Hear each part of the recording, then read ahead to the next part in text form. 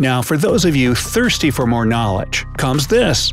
What if you stop drinking water for a day? you know, your body is up to 70% water. This figure changes with age.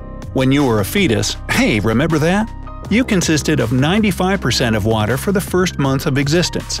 At birth, this amount became lower, 77%. All in all, in a 150 pound person, there are 11 gallons of water, and two thirds of this water is in your cells.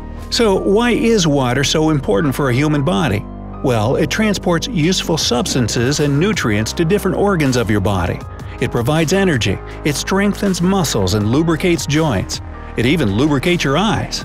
A normal cardiovascular function is impossible when you don't have enough water in your body. What's more, without sufficient amount of water, your body wouldn't be able to regulate its temperature and you'd start to overheat.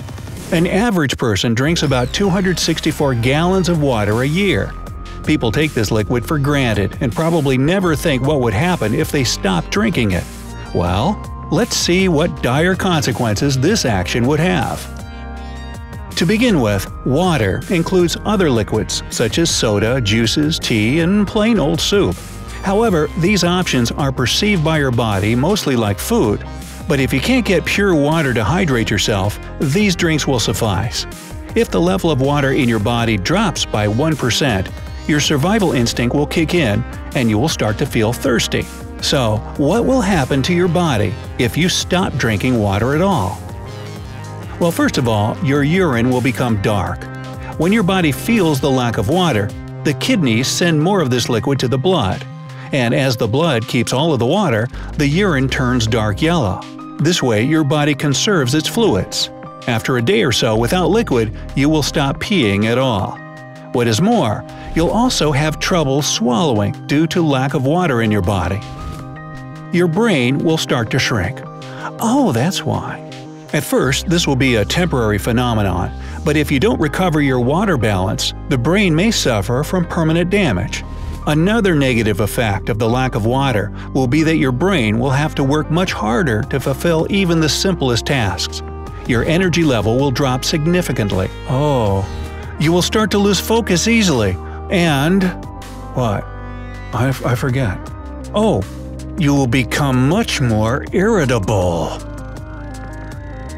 As water is supposed to lubricate your joints and the areas between your bones, its lack will make your whole body hurt as your bones will grind against each other.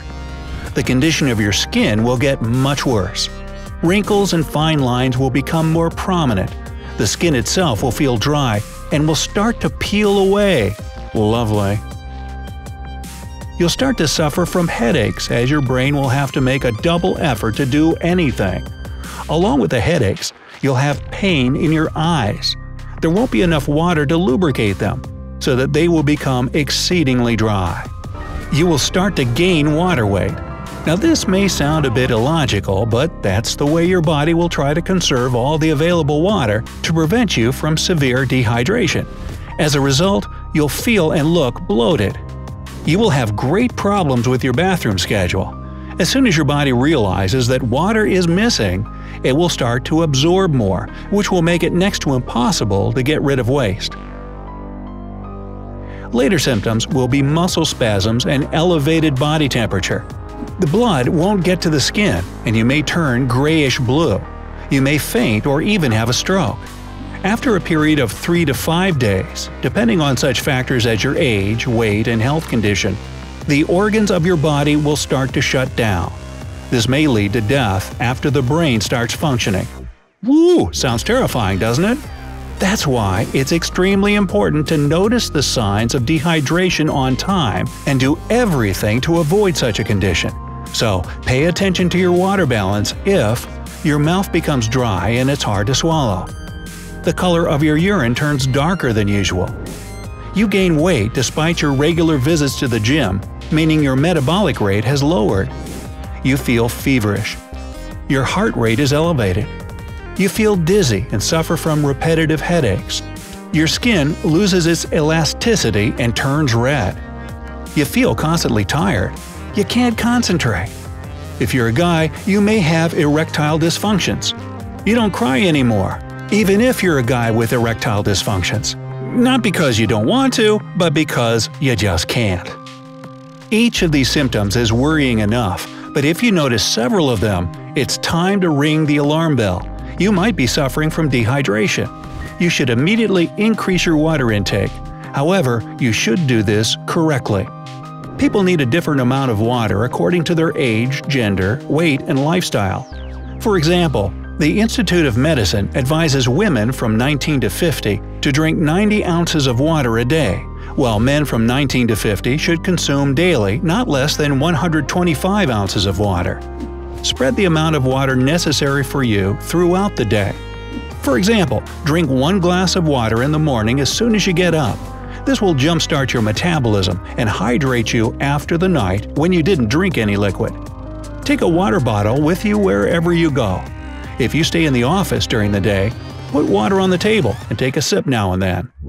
If your job is connected with moving around, remember to put your water bottle in your backpack. You can play with different types of water bottles. For example, the ones with measurement marks on the side, with a special insulation to keep it cool, with a built-in filter, or a cylinder inside to keep a piece of fruit.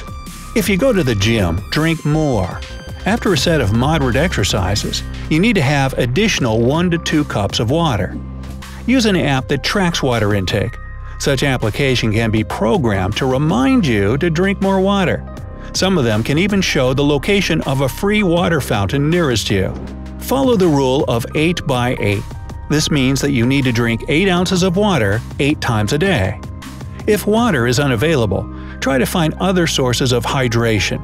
You can drink juice, tea, coffee, or eat fruit instead. It goes without saying that water is the best liquid to hydrate you, but if you have no other choice, use anything you can pour into your cup to achieve your daily liquid intake norm. At the same time, try not to drink more than 4 cups of tea or coffee a day. Irritability, headaches, and insomnia will most likely be side effects of excessive consumption of these drinks. It may seem surprising, but more than 20% of your daily intake of water comes from food.